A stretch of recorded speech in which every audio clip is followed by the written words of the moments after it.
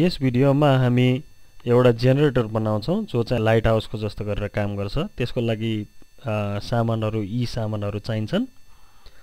एउटा प्लास्टिकको बोतलमा पुवाल पारौँ दुईतिर र त्यो पुवालमा सानो काटिएको स्ट्रहरूलाई कुसाउँ। यो भिडियोमा देखाएको जस्तो गरेर एउटा रबर लिउँ। त्यो रबरमा दुईतिर एकदमै शक्तिशाली चुम्बकहरूलाई टाँसौँ।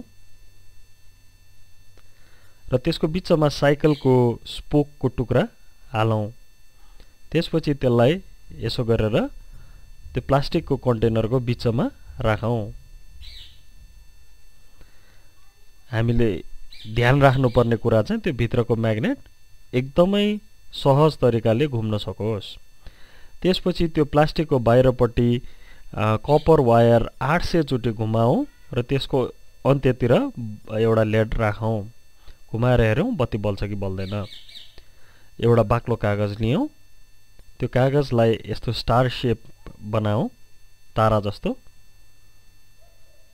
र बिचमा गुँद लगाएर त्यो स्पोकमा जोडौँ।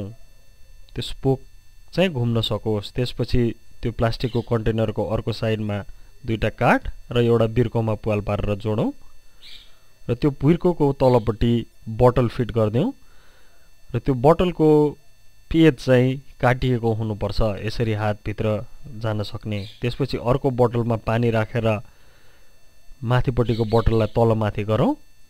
त्यसले कागजको त्यो स्टारलाई घुमाउँछ र यो घुमाउँदाखेरि बत्ती पैदा भएर एलइडी बल्न थाल्छ। जतिचोटि पानीमा तलमाथि गरियो त्यति बल्ने र निप्ने गर्दछ। यसरी यसले लाइट हाउसको इफेक्ट दिन्छ